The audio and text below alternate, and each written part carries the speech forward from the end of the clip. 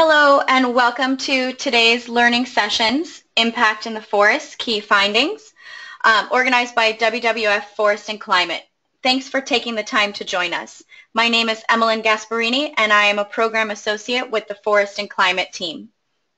Before we begin, I'd like to go over a few logistics and some frequently asked questions. For those of you who have participated in past sessions, this will sound familiar, but yes, Today's presentation is being recorded and you can find the recording within a few days on our YouTube channel. To get to the recording, simply go to youtube.com and search for WWF Forest and Climate. There are two audio options. You can listen through your computer or dial in through the phone number that was provided in your registration email. It's important to note that if you experience audio difficulties while listening through your computer, these are sometimes caused by having too many browser windows or programs open at once. So feel free to close some of them, which usually solves the issue, or you're always welcome to join by phone. If you continue to have technical difficulties, please send us a message via the chat area and we'll try to get you sorted out. Questions are absolutely welcome. You can send your questions anytime during the webinar using the toolbar on your screen.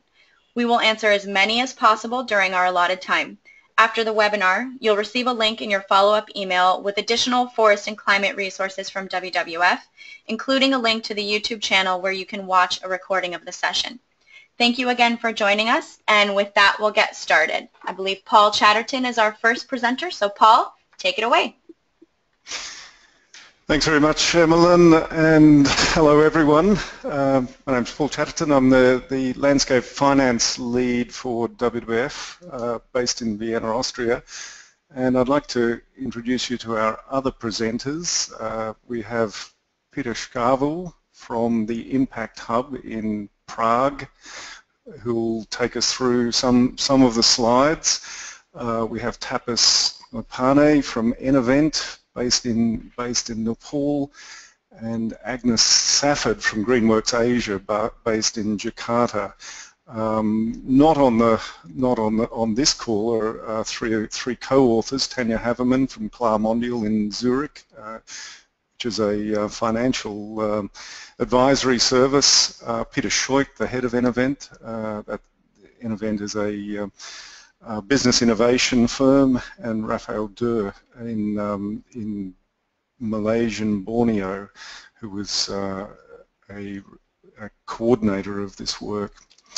So let's, let's dig into it. Um, the impact in the forest report came out of a set of discussions around the question of how business can achieve deforestation free and help build forest resilience and productivity.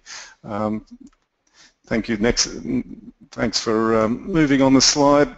Slide. Um, the I guess there's been a lot of discussion in the climate world about uh, how to engage business in in climate solutions. Uh, the same is true for sustainable development and uh, and certification. But but much of that discussion has been around large-scale business. Uh, We've, we wanted to look at the question of how smaller scale and newer business can get engaged in, in deforestation free and uh, we particularly decided to focus on Asia as a starting point. Uh, we looked at a set of uh, case studies of innovation across Asia to, um, to explore this question um, and talk to many different actors to understand their needs uh, to achieve scale, how, how could they, what were they doing at the moment, where was it successful, where were the opportunities for growth? And what were the, what were the blocks to, uh, to achieving scale in, in, um, in more sustainable production. Um, five organisations worked on this report uh, from coming from very different perspectives, WWF on the environment, Ennovent on business innovation, Impact Hub on the development of local entrepreneurial ecosystems. Uh, they're a, um, a, space for green entrepreneurs with 80 offices around the world and Clarmondial and Greenworks Asia on the financing. Next slide, slide please, Jenny. The big question that we were tackling is um, is, is how extensive business innovations are for addressing deforestation. We found that uh, there isn't a lot going on, that uh, business incentives remain much stronger for promoting deforestation than for preventing it. There are a lot of isolated uh, examples of very good practice uh, in certification of, of forestry, uh, oil palm and other products, but the, the, the challenges are that uh, there's a whole set of incentives for deforestation that, is, that still exist across Asia. There are subsidies uh, that are promoting oil palm. There's uh, the public funding is not providing enough incentive to uh, to move towards towards certification. There's a lack of transparency, and there's a vast number of illegal activities going on in most most countries in Asia.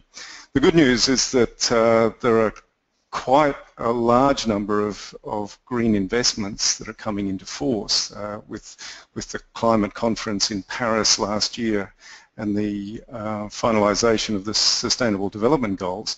There's a set of funding coming from, from uh, initiatives such as the Green Climate Fund and the Land Degradation Neutrality Fund and so forth that can help to finance business solutions for, for deforestation free. Um, so that's that's an opportunity that will, that will, appear more and more in Asia, uh, but the situation is still still uh, uh, not very positive for for deforestation-free uh, solutions. Next slide, Jenny.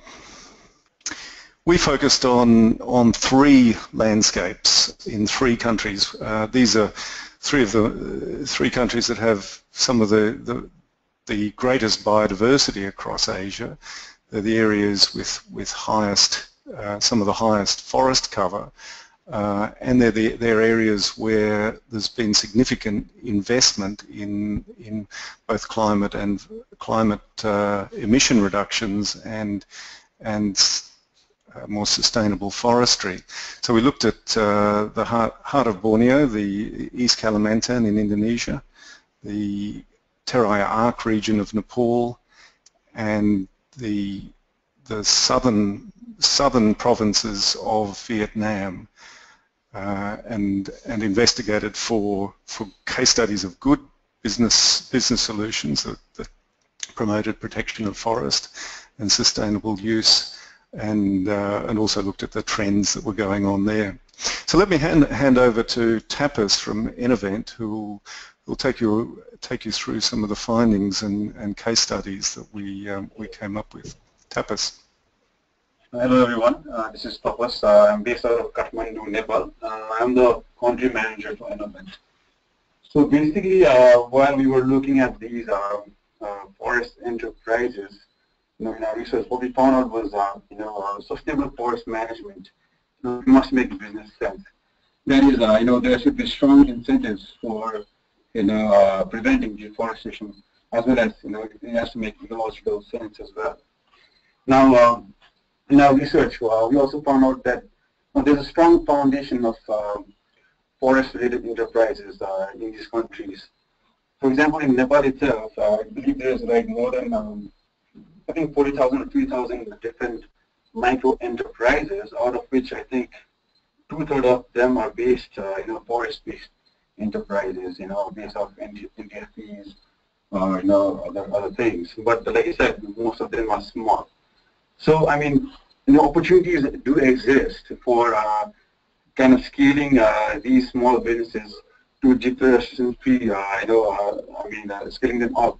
But uh, there are not enough incentives uh, to accelerate them challenges in scaling, for example, uh, you know, uh, uh, there are challenges in access to finance. You know, there's not enough, uh, not adequate business management and entrepreneur skills uh, with these small uh, entrepreneurs or enterprises. You know, the, the, subsidies and regulations are perverse.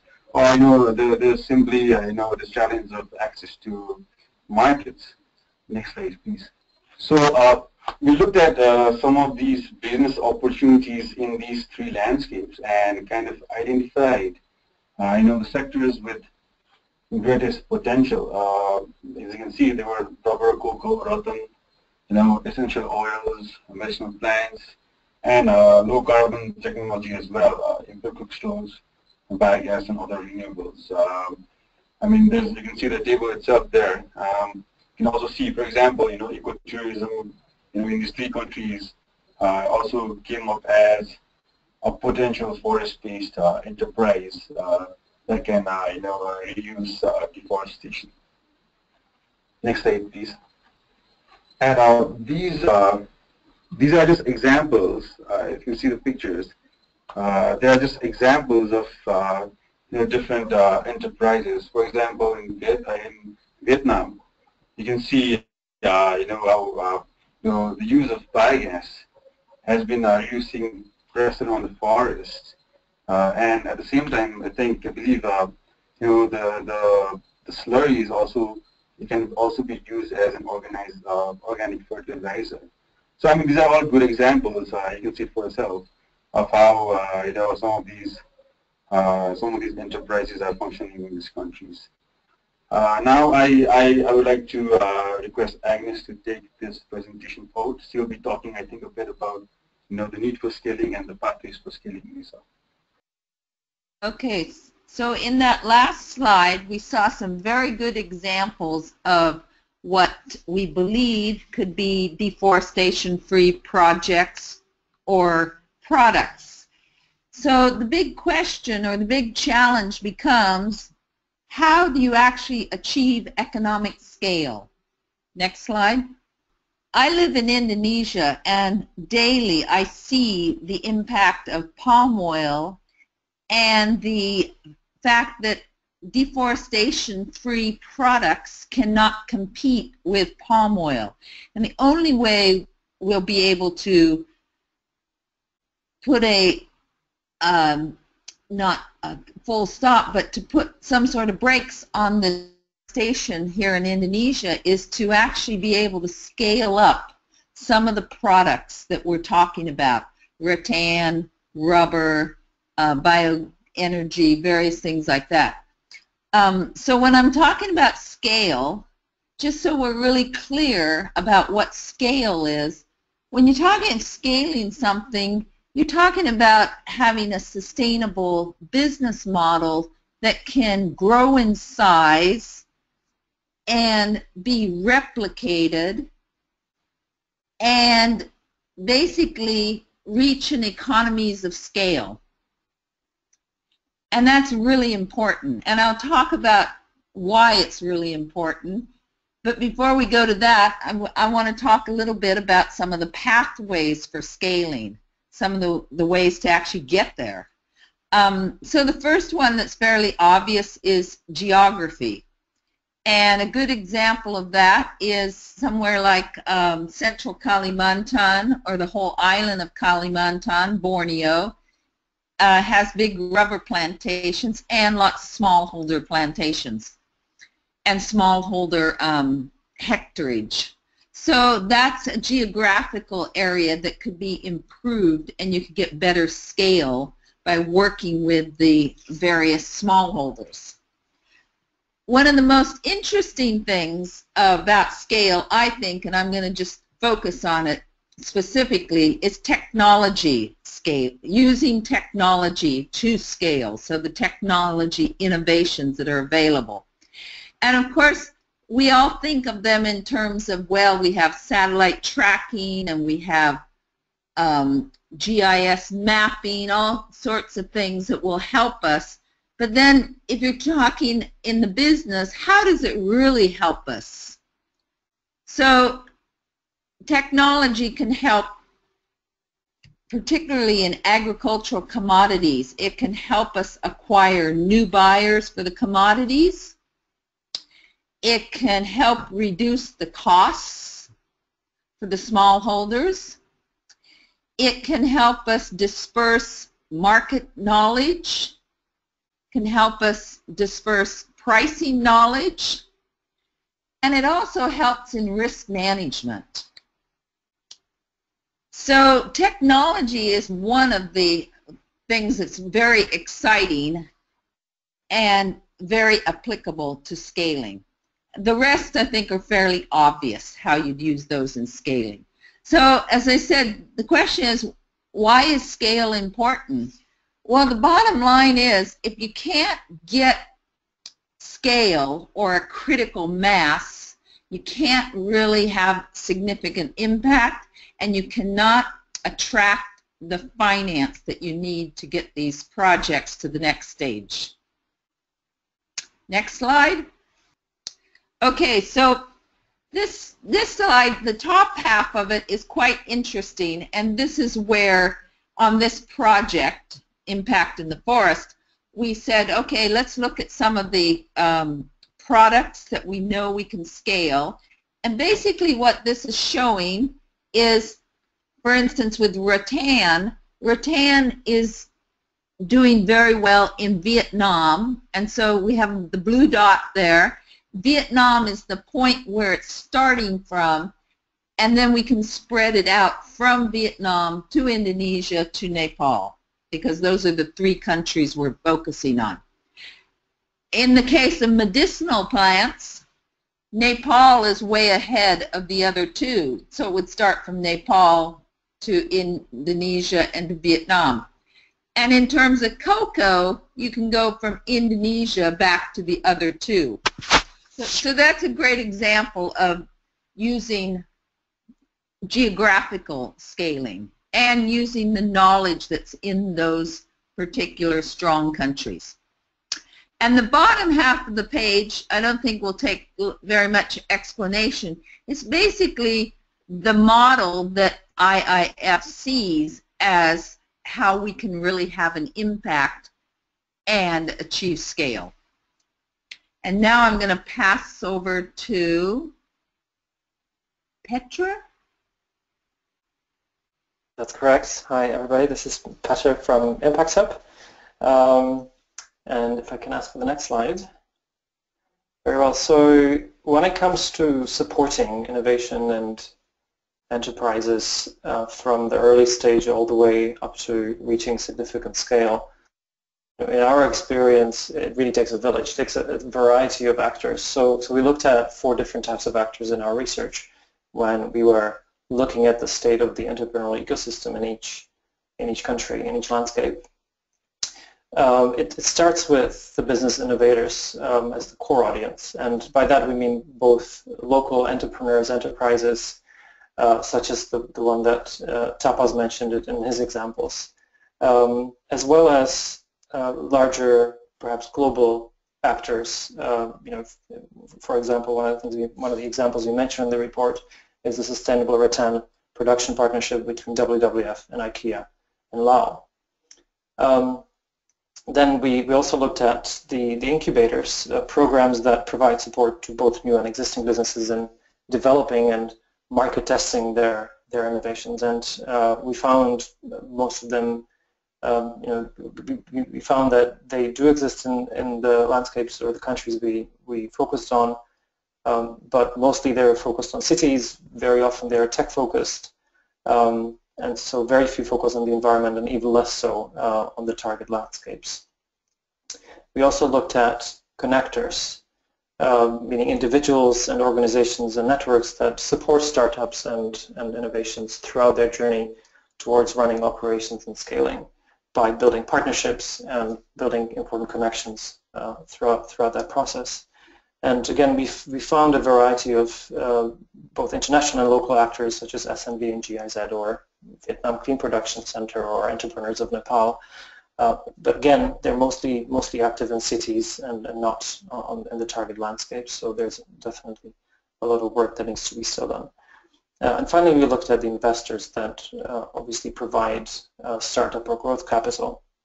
And uh, we um, have found, uh, again, multitude of different, you know, both from, from the private sector, such as Lotus Impact in Vietnam, or multilateral institutions such as the Asia Development Bank, NGOs, and even commercial banks being active in the sector. Um, and although only few focus on deforestation, there's at least one in each country that that um, uh, does invest in environmental causes, and um, we generally expect that the amount of environmental investment available in the region will grow. Um, although there will be another challenge that a lot of the investors um, have faced and will face, is that relatively few of the enterprises actually reach um, the level of development where they're able to absorb investment. So there are relatively few investment opportunities available. So the hypothesis we wanted to test in the research and we want to work with going forward as well is if we combine all four actors or types of actors in a coordinated ecosystem of support, it's then the, it's likely that more ventures will progress towards investability and scale, and it's more likely that the initiative will produce more long-term results and growth um, and um, impact on deforestation. If I can ask for the next slide, please. So we started developing a model of how the different forms of support of innovations and ventures addressing deforestation can be coordinated throughout their journey and across landscapes. The first steps include market education and incubation of new um, or, or identification of existing projects within a landscape um, and early stage capacity building. As a part of this initial work, it is also important to create a community of actors prepared to collaborate and support such activities over time. In the next phase, appropriate partners need to be brought in to support projects becoming economically viable and scalable. And um, again, as, as, as um, Agan has already described, we have identified several different scaling routes uh, that are further described in the report. It's, uh, of course, also important to measure the impacts and to learn from what works and what doesn't work as the projects, projects, progress, progress, progress. And we also believe that it's critical to share the success stories to attract more entrepreneurial talent and businesses and resources to addressing deforestation. And finally, we also see a need for a certain level of coordination across the landscape and also internationally to ensure that the successful solutions are registered, replicated, and that large-scale large-scale investors are attracted. There is also a need to promote certification like FSC that uh, helps small businesses to build credibility and uh, also work with certification authorities to include uh, protection of habitat and species. I can ask for the next slide, please. Finally, we look at we looked at what are the interventions needed to achieve the objective of supporting entrepreneurial innovation uh, with measurable impact uh, to uh, you know throughout the process from early stage to, to scale. And uh, we basically identified four key interventions. One is building community platform to really activate the local communities and local businesses in addressing deforestation and, and, and uh, engage them in the theme. Uh, as well provide uh, physical infrastructure and start structuring some key partnerships.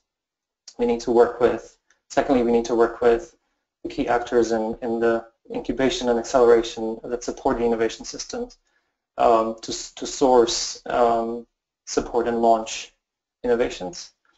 Uh, we, we also need to uh, attract and engage a variety of investors in the process and deploy novel financing mechanisms such as performance-based financing models.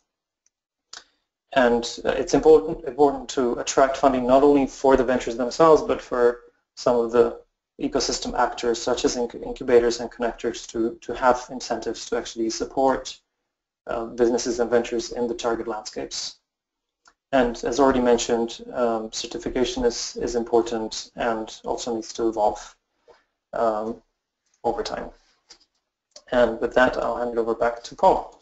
Thank you. Thanks, Peter. So in wrapping up, um, it's clear that there's an appetite for significant investment, both from the private sector and the public sector. And, but there's some significant blocks to allowing that investment to move forward and, and, and help um, develop scale among, among businesses in contributing to deforestation-free solutions. Next slide, Jenny.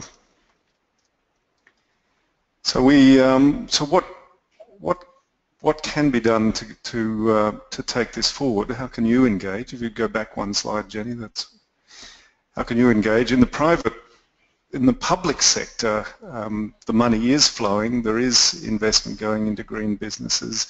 There are some small uh, exercises in supporting entrepreneurial support systems and innovation processes. I think that can certainly grow. Um, building building this ecosystem is fundamental as well as building the individual businesses. Well, what we found is that there's a real um, lack of understanding from the private from the public sector about how the private sector operates. This was this was a real learning between us within the team. We come from a mix of public and private sector, and we found ourselves talking at cross purposes to each other. The languages are so different. The way of organising is so different. Um, we we had to spend a lot of time educating each other on how on how our our worlds operate. Um, I think that's a that's an issue for the, more generally uh, to find a way of of for the public sector to take a more proactive attitude towards the, the private sector and understand what are its limits, what are its needs, and how it operates. From the private sector point of view, there's there's an enormous amount of funds now now becoming available for green business. This is really struggling to find investable opportunities in, at scale. One of the issues that, um, that, that, we've heard is, is that um, the private sector investors are asking what is green. You know, they, there's so many different standards. Uh, in the forestry sector, there's, there's there's FSC, PEFC, and many, many national systems. Which one do you go for? So achieving some sort of clarity on standards, some simplification of, of certification system and monitoring monitoring is, uh, is really important. Um, also systems to aggregate between different uh, different projects across a, a geography or, or through a trade chain is, is very important if you can bring the public and private sector together, then then you know, we, we think there is possibility to greatly accelerate uh, work on deforestation free. But it means that we, we all have to understand this, um, how to achieve this more comprehensive ecosystem approach, an end-to-end -end approach that covers the entire innovation funnel, that tests effective models and, and, and invests in the ones that prove themselves to be successful and that advances impact metrics because until we know what is successful, uh, we're not going to be any further ahead. Uh, next slide, Jenny.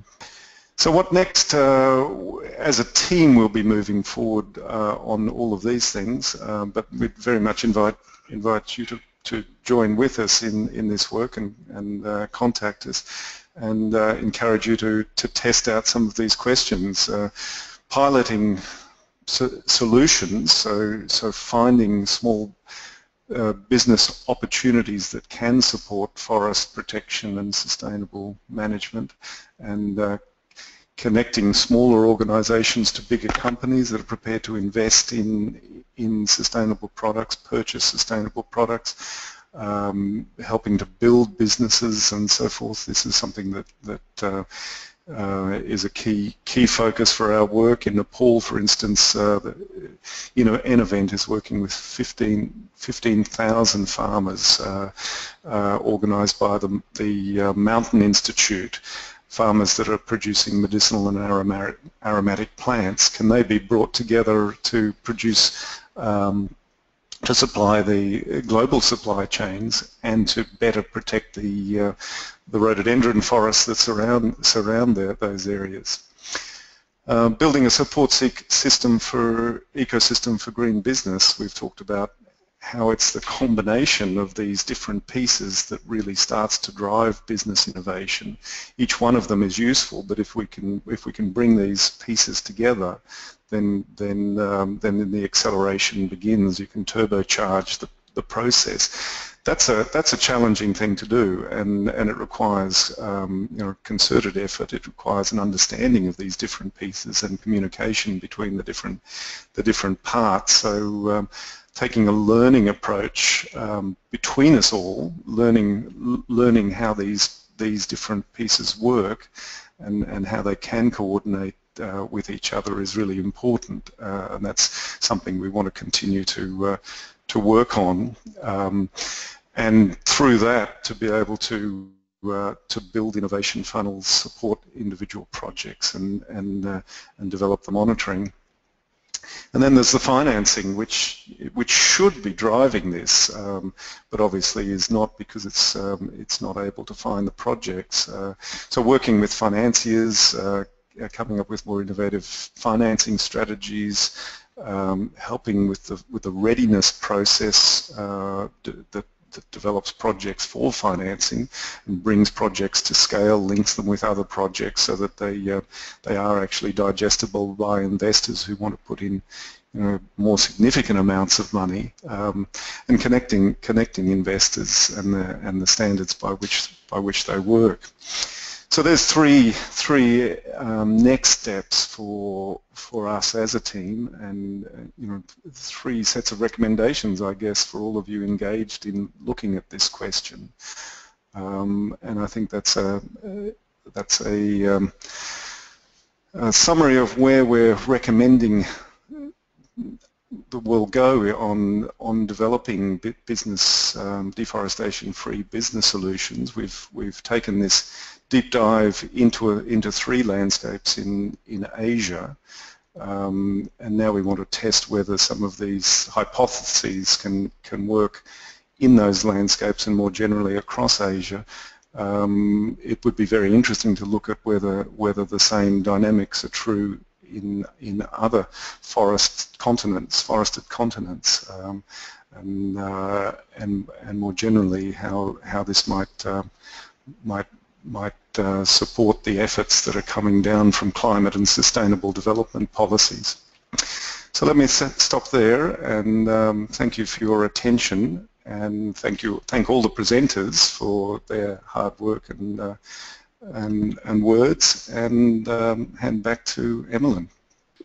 Right, thanks Paul and thank you again yes to all of the presenters. It's really um, a fascinating subject and something that's uh, definitely a big issue on the horizon in terms of, um, you know, the forest community.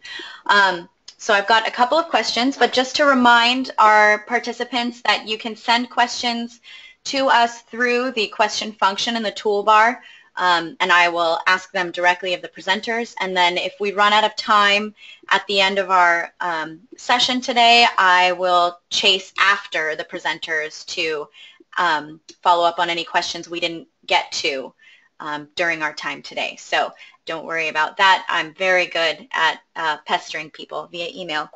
So the first question um, I want to ask all of you is, what do you think are the main challenges for these deforestation-free enterprises to reach the level where they can absorb commercial investment? Uh, sorry, could you repeat the question again? I, yeah, of course. only a part of it. Uh, what do you think are the main challenges for these deforestation-free enterprises to reach the level where they can absorb commercial investment? So uh, I can give a, a, part of an answer. I'm sure uh, some of the others on the team will be able to add more.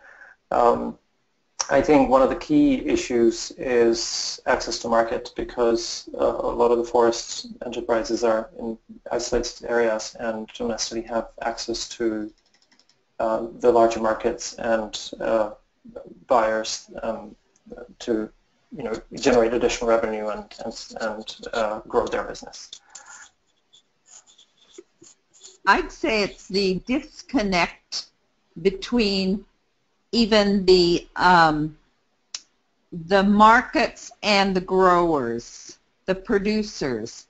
So in other words, in many remote areas you have small groups of farmers or small businesses that are producing something and they really are totally disconnected from what the market requires, what the product needs to, you know, to what standards. There's just, there's not that market knowledge with the producers and they, they really have no idea how to connect to the markets. And I think that's one of the biggest challenges. There's Paul here. There's, um, there's, there's a set of subsidies and government regulations that continue to promote unsustainable production. That's certainly been the case in in oil palm. It's um, you know, although in Indonesia, in in Indochina, timber, illegal timber continues despite government official efforts to prevent it. Um, can that be changed around and can the, can the regulations, subsidies and enforcement be, uh, be shifted towards, towards sustainable production? Thank you. Sort of along those lines of um, government action, uh, I'm thinking of the annual smog event, in quotes, that happens um, in Indonesia and the surrounding countries. Yes, event is a very cute way to refer to it. Um, but since the the forest fires are centered in Indonesia, uh, what do you think the Indonesian government is um, doing? Are they making any steps to promoting these sort of deforestation-free small business enterprises, um, particularly in relation to combating um, the illegal fires that are producing this smoke and smog.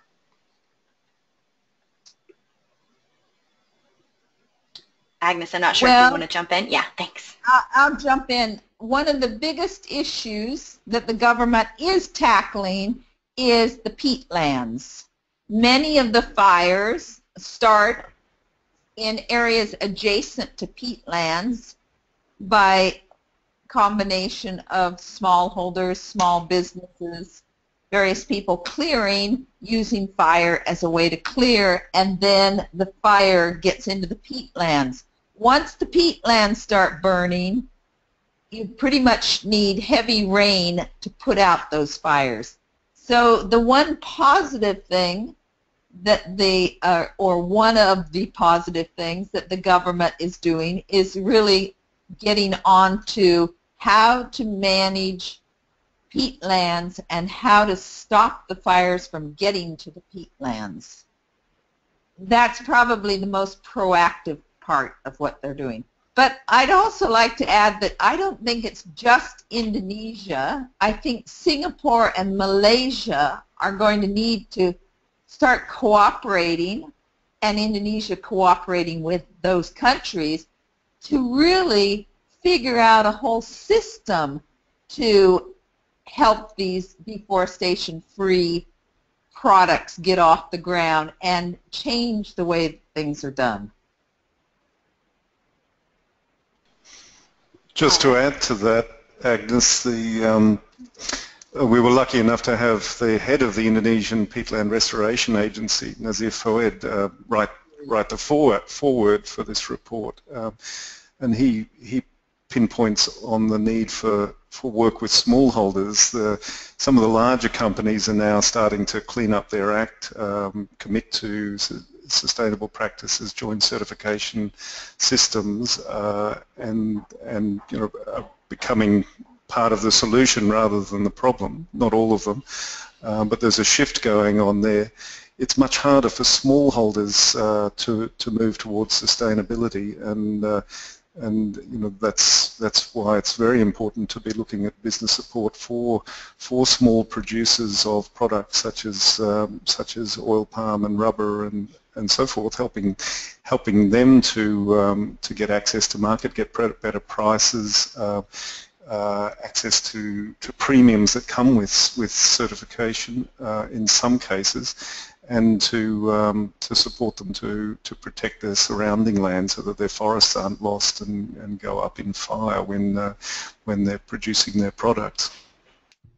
I'll give a good example of a company that's actually working with smallholders. Uh, Riau Province, which happens to be fairly close to Singapore, is one of the biggest palm oil producing areas in Sumatra. And we're starting to see companies that are working with some of the smallholders to actually produce alternative crops. And there was one example cited in the newspaper just a couple weeks ago of palm oil farmers deciding not to clear and increase their palm oil hectarage, but to grow spinach and send it to the markets where they wanted English spinach. And it's actually proved to be far more um, profitable than growing palm oil. Case in point. That actually follows, um, segues nicely into this question. Um, our participant is asking, my understanding is that the rate of return on investment in the forest sector is substantially lower than palm oil. Is this the case in your experience with these deforestation-free enterprises? Do you have suggestions on how we can make these enterprises financially comparable to investment in palm oil? Well, I'll tackle that one because it's a it's a it's very difficult to compete with palm oil. The margins in the palm oil business are very high and the economics are phenomenal. And that is one of the reasons we've seen such growth in the palm oil industry in the last, um, yeah, last eight to ten years is you have companies going into palm oil that would have never dreamed of being in palm oil in the past.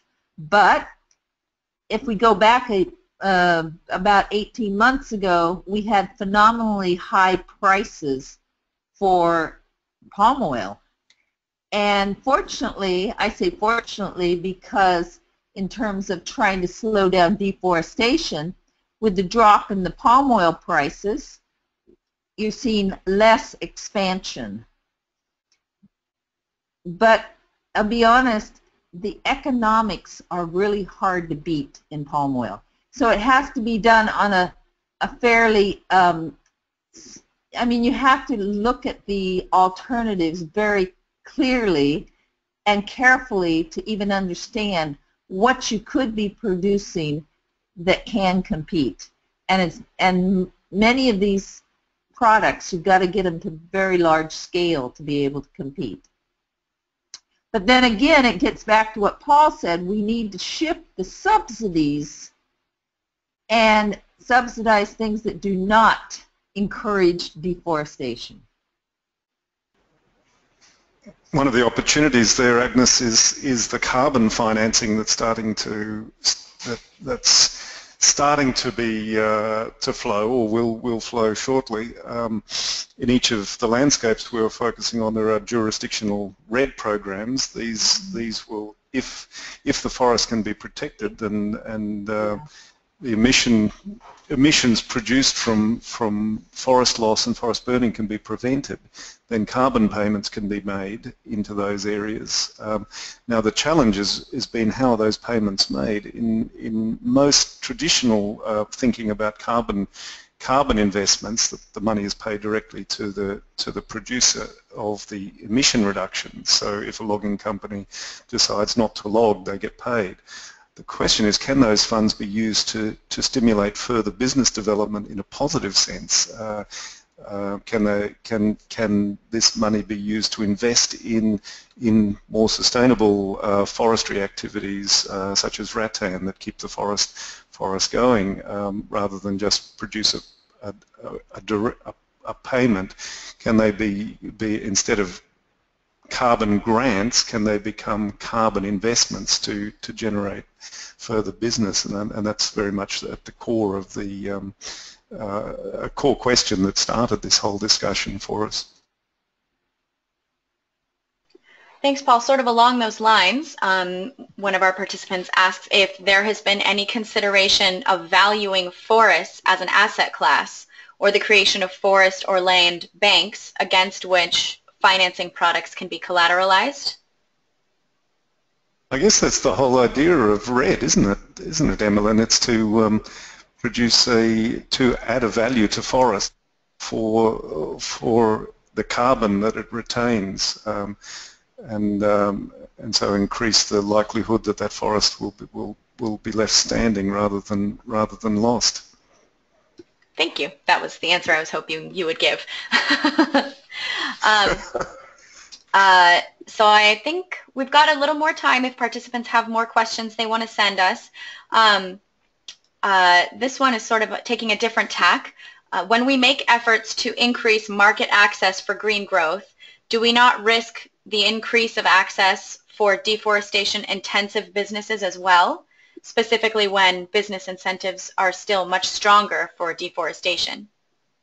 So are we risk are, are we risking too much creating these openings, I think is the essence of that question. Tapas, do you want to answer that? Uh, uh, Nepal is a very good ex good example of that question. yeah, okay.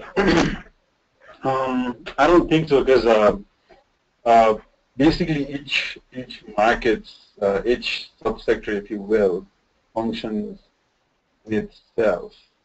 Uh, and obviously, you know, uh, with its subsector, there are different policies and regulations within the country as well as well as across across the boundaries. Uh, you know, um, so no, I, I don't think it, it, it actually opens up uh, you know space for uh, you know uh, you deforest. I mean, uh, forestation-based uh, kind of enterprises.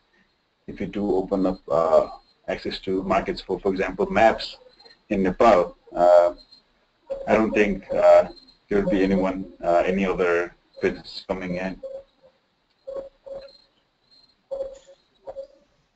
And I would I would add one one uh, another answer to this, and, which is that uh, when we recommend to support um, enterprises that address deforestation, it is not only in directly you know supporting enterprises who are based in the uh, in, in the forest deforestation fronts, but also working with enterprises who are in uh, or based in cities or who have you know have the access to markets who um, actually facilitate that connection between between the smallholders and and the larger markets, and and, and either partnering with them or, or or or accelerating some of the existing ones that focus on uh, deforestation-free products and who can play that facilitation role um, that is you know that that uh, limits deforestation rather than promotes it. Thank you. Um, along those lines, if private sector companies are interested in staying informed and engaged with these issues, how would you recommend they do so?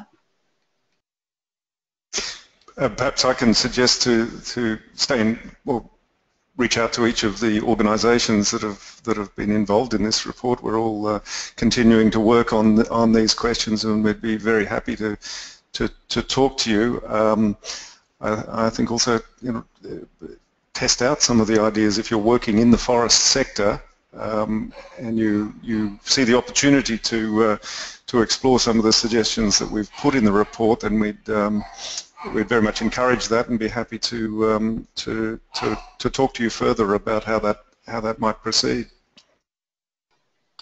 All right, thank you. Um, we just have one more question, unless participants um, have any other burning questions they would like our very informed panelists to answer.